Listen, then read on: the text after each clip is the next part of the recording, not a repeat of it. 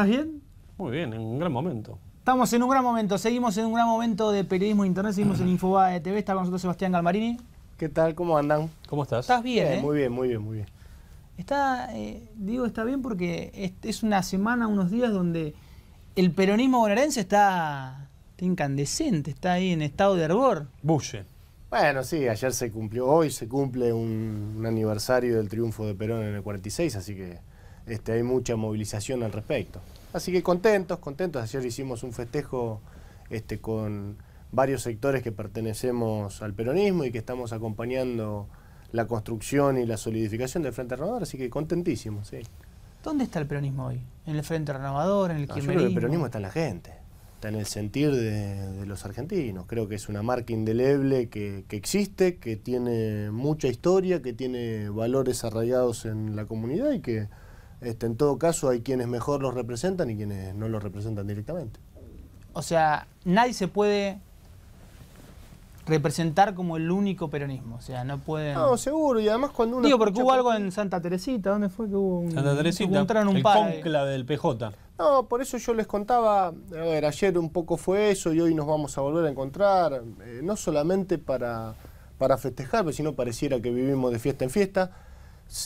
No es para conmemorar únicamente, sino para este, reordenar este, de algún modo esos valores que, a veces quedan este, en la nebulosa en función de declaraciones altisonantes de algunos o de otros. Yo ayer pensaba, ¿no? Algunos de los que hoy andan con el peronómetro en la mano, diciendo este es más peronista que este o aquel es menos peronista que el otro, fueron los que hace pocos años, enfrentando al mismo kirchnerismo, hablaban de métanse la marchita no, no sé dónde, u otros que hoy este, en declaraciones también en, algunos medios este, planteaban que no sabían si nosotros éramos- o no éramos peronismo.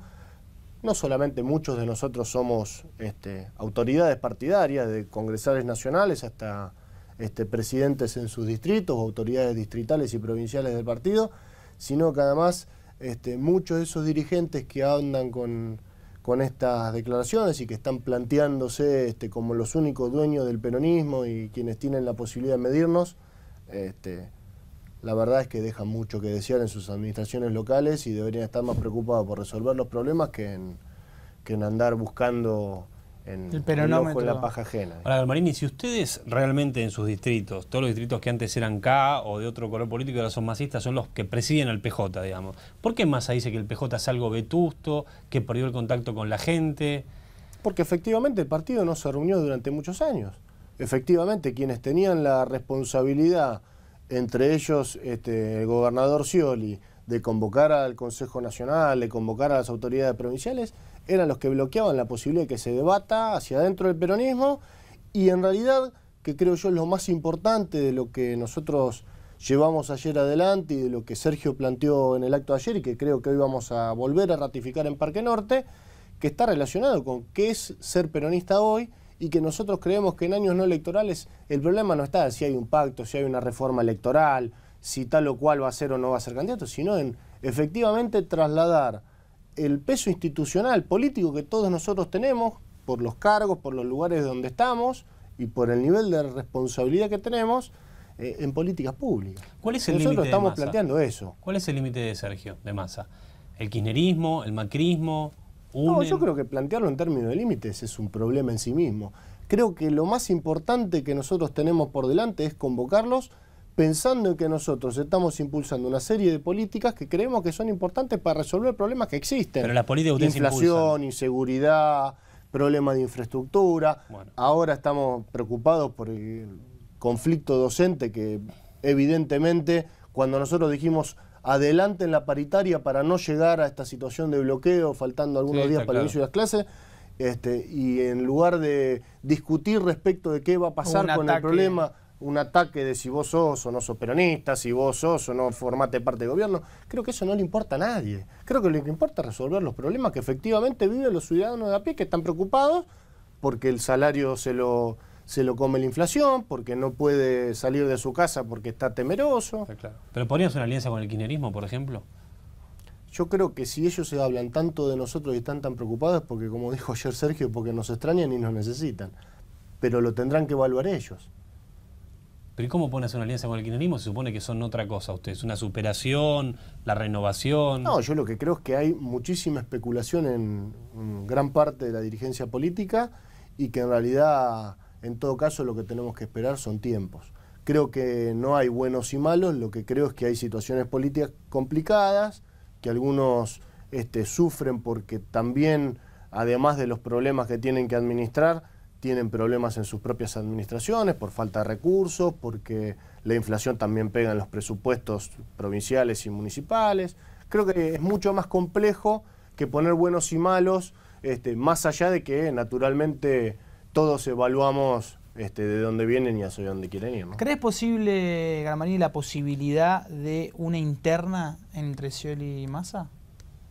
Yo creo que nada es ni tan posible ni tan imposible. Creo que lo más importante, insisto con esto, y más en un año no electoral, es que tengamos claro de qué lado están respecto a algunas políticas que nosotros creemos son importantes impulsar. Creo que el problema que tiene el gobernador es que después de muchos años de entrega del gobierno provincial, este, de entrega de recursos, de entrega de herramientas políticas, institucionales al gobierno nacional, hoy nos quiere hacer creer que con alguna foto o algún gesto él no acompaña esas políticas y nosotros creemos que hay decisiones que hay que tomar en materia de educación, adelantar las paritarias y resolver el problema eh, docente, eh, en materia de infraestructura ni hablar.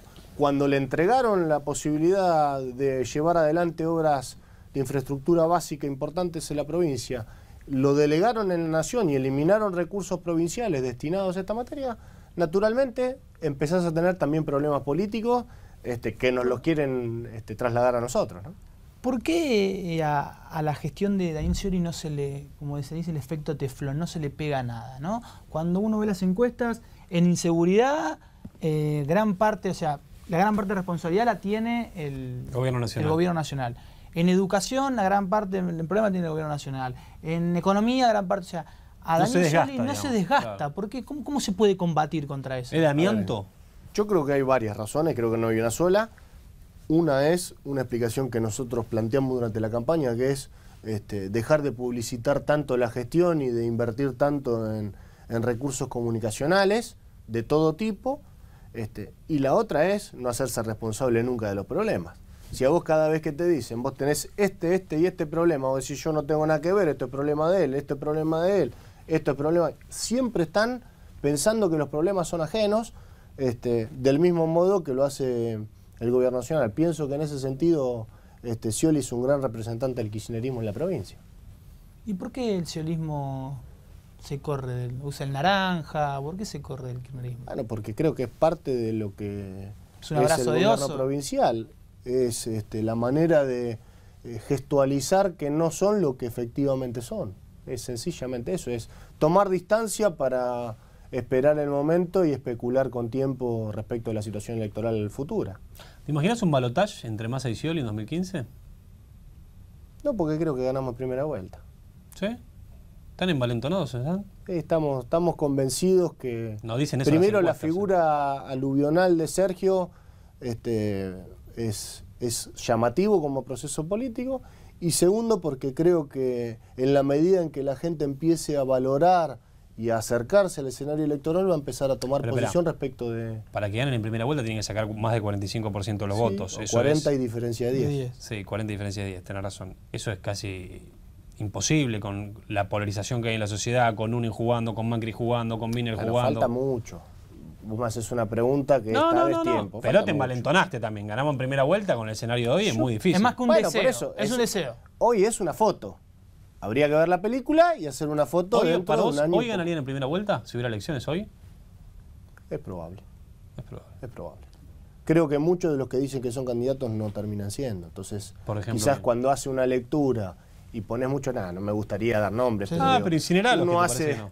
hace mucha hace mucha laraca de la posibilidad de estar en una primaria o en una elección, por dentro o por fuera de una estructura partidaria.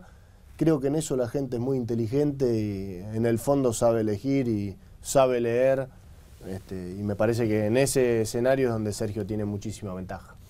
Teniendo en cuenta en el Senado de la provincia de Buenos Aires, el lugar en el que te ha tocado desembarcar luego de las elecciones, se está, se está, ahí está realmente la pelea, la, la primera, vamos a decir, el primer episodio ¿no? de la pelea Sí. del sionismo contra el sionismo, kirchnerismo contra, contra el Frente Renovador. Se está dando la posibilidad de que Sergio Berni vuelva al Senado, que tiene pedido licencia para tener la mayoría. ¿Cómo, cómo está toda esa discusión? Bueno, en principio este, sería muy grave para la institucionalidad de nuestro país que quien está al frente de una de las mayores problemáticas que tenemos en, en estos días, que es la seguridad, este, solo por especulación electoral o política, este, baje a un cargo y además bloquee la posibilidad de que vuelva a asumir quien naturalmente es su suplente. Y por el otro lado, la verdad que muy contento porque la figura de Fabio Sorchili, quien ha tomado esta decisión valiente este, de pasarse a nuestro bloque, eh, no solamente es un gran dirigente por el reconocimiento, por su, tra su tradición este, política y familiar en su pueblo y el volumen que nos va a dar en la segunda sección, sino además porque muestra enormes convicciones. Una persona que podría poner en juego su propio espacio institucional por dar un salto político. Y ahí te, quiero, y ahí te quiero hacer una pregunta con, con Sorchini, que es un, es un, por ejemplo, un senador que cuando Granados pasa al Frente Renovador, la cat cataloga ese pase como nefasto. Crea un proyecto para multar, al, para la posibilidad de que se multen a los senadores que se cambian de, de lugar de, o de bando de acuerdo cómo El borocotazo, digamos. Y ahora va y, se, y, se, y, y pega el, el, el, sal, el ah, salto. Yo creo que también eso está relacionado con las situaciones políticas. A eso me refiero. Que, es, eh, creo que hay, hay mucho vinculado a, a la oportunidad y al, y al convencimiento de que inicia un nuevo ciclo. Muchos, y ayer un poco esto lo charlamos en este plenario de la agrupación Perón Vive en la provincia de Buenos Aires, junto a otros dirigentes de otras expresiones políticas, que muchos durante el proceso previo al lanzamiento de Sergio el año pasado dudaban sobre la posibilidad de que Sergio encabece este, el proceso que estamos hoy viviendo y además tenían ciertas dudas de poner en riesgo este, su propia gobernabilidad, sus espacios este, ejecutivos, legislativos, en los consejos deliberantes. Y creo que eso es natural porque eh, no hay que olvidarse que la política la hacen seres humanos y también ponen en juego otro tipo de vinculaciones, con lo cual a mí eso me, llama más a, decir que las personas que vos tenías al lado y que están preocupados por lo que hiciste o dejaste de hacer, este, deberían estar más pensando en lo que viene y no en lo que pasó. ¿no? Me, da esa sensación que tiene que ver con más, más con la bajeza este, de quienes publicitaron eso que con el problema en sí mismo. ¿Va a tener éxito la doble firma? ¿Tienen, ¿Están pensando en eso, de instaurar la doble firma otra vez en el Senado? Bueno, en principio tenemos que empezar el año legislativo en, en algunos días y... Para que entiendan, la, la doble firma es un sistema de, hoy por hoy, cualquier gasto que se hace en el Senado, estamos hablando de una caja de mil millones de pesos, la única firma que está autorizada es el propio Mariotto, e incluso con gastos que quiere hacer la oposición. Entonces lo que quiere instaurar es un gastos dentro del, dentro del Senado, de lo que ¿no? es el Senado, para eh, qué sé obras, yo, obras, lo que quieran. Pero incluso para contratación contratos, Sí, claro. para asesores, para creación de Para crear ejemplo, personal. Una comisión quiere mm, encargar una investigación de determinado el, el gasto lo tiene que aprobar el propio Senado. Entonces lo que se quiere instaurar es una doble firma para que ya sea como el líder de la primer minoría o el líder de la primera mayoría puedan tener eh, firma autorizada. Eso es un proyecto que incluso en el 2009 se quiso tratar, 2011 también. Quedó congeladito. Quedó congelado y ahora el Frente Renovador tiene, el, tiene los fierros, como Sí. dice, se dice en la jerga, y van a ir por eso. ¿Lo están pensando? Sí, igual yo, eso es una de las partes de, la- de la discusión, pero creo que la más importante de todas y que no hay que obviarla es la discusión respecto de los espacios en las comisiones. Porque no solamente pasamos a ser la primera minoría como bloque dentro de la Cámara, sino que además te da la posibilidad de impulsar tipo de legislación que es mucho más que los recursos que están Claro. dentro del propio Senado, que está vinculado al presupuesto provincial y a un montón de propuestas que nosotros hicimos durante la campaña y durante este breve lapso este, de verano, que creo que son, primero, implican muchísimos más recursos y una discusión mucho más profunda que solamente la posibilidad de trabajar hacia adentro hago la última, por lo menos de mi parte. Cuando estás en un asado con masa, ¿no? Un asado familiar, está todo el tiempo con el celular, es cierto que no para de rosquear con el celular, que le hablan y está así, así, ok. No, lo que es es un hiperkinético trabajador, está incansablemente hasta altas horas de la noche trabajando con el Pero teléfono. no tiene artrosis en los deditos. Y en algún momento le van a empezar a doler, sí. Porque no, no, le- no le deben aguantar los dedos. Es posible, es posible. claro, me dice, me La tendinitis la- la- la- a la- la- el duele subte. La de desempleo del subte. No, no lo ves con tendinitis. en Ah, no dedos. lo veo, por ahora no lo veo. Creo que todavía es joven y tiene tiempo para seguir trabajando vía teléfono. Te hago una punta, no nos des nombres. No, no vamos, a, no vamos a comprometer una estrategia quizás política, pero hasta ahora todos los pases son entre el Senado, intendentes. Eh, ¿Hay un par de gober- ¿hay gobernadores que están llamando por teléfono? Sí, Sergio ha tenido diálogo con todos los sectores políticos y con play, todo el país. mete play, hace, agarra no, el cassette. No, play, no, pero es cierto, y además no hay que poner en riesgo ninguna institucionalidad porque en una situación política como la que está viviendo el gobierno, que busca siempre afuera enemigos, desestabilizadores, destituyentes, etcétera, me parece que no es prudente y no es necesario. Sí es cierto que hay innumerable cantidad de dirigentes políticos que ven en la figura de Sergio este, el, el inicio de un nuevo ciclo político, una esperanza, eh, piensan en la administración de Tigre y en lo, que, lo bien que le fue en ANSES y ven una modernidad en la administración pública que la O sea, Argentina... pero a que refiero, hay un par de gobernadores llamados y dijeron, aguántenme, que voy a seguir acá jugando, pero... Bueno, pero eso le deberías preguntar a cada uno de los dirigentes y que cada uno sabe los tiempos que administra. ¿Hay, ¿Sí o no? ¿Hay o no hay? Sí, hay, hay, hay. ¿Hay exfuncionarios del gobierno de hace muy poco que están trabajando con ustedes? Exfuncionarios del gobierno que están trabajando con nosotros, muchos, ¿sí? No, exfuncionarios de hasta hace muy poquito, hasta hace meses trabajaban en el gobierno, que tras una reestructuración se fueron y se sumaron al masismo. Ah, no sé, lo desconozco. No desconoces, no desconoces. Muy bien. ¿En San Isidro está bien? Sí, sí, estamos trabajando, estamos llevando adelante un montón de las políticas que nosotros venimos planteando en la campaña, así que trabajando, dándole fuerte a, a lo que nosotros creemos que le podemos aportar a la administración y a mejorar la calidad de vida de un municipio con altísimos recursos como el nuestro. Así que sí, también muy contentos con eso y, y creo que hay una, una comunidad que reclama un salto de calidad, un salto a la modernidad y en eso estamos. Pero si la comunidad que está ahí reclama un salto de calidad, un salto de manera, es que la gestión que está no es ni moderna ni nada. Bueno, es, es una administración que lleva muchísimos años y que creo que tiene algunas deficiencias que nosotros vamos, en principio, a intentar ayudar para resolverla y si no, veremos en su momento cómo electoralmente se resuelve. Gracias, Sebastián. ¿eh? No, gracias Sebastián. Gamín, senador de la provincia de Buenos Aires, dirigente y referente del Frente Renovador.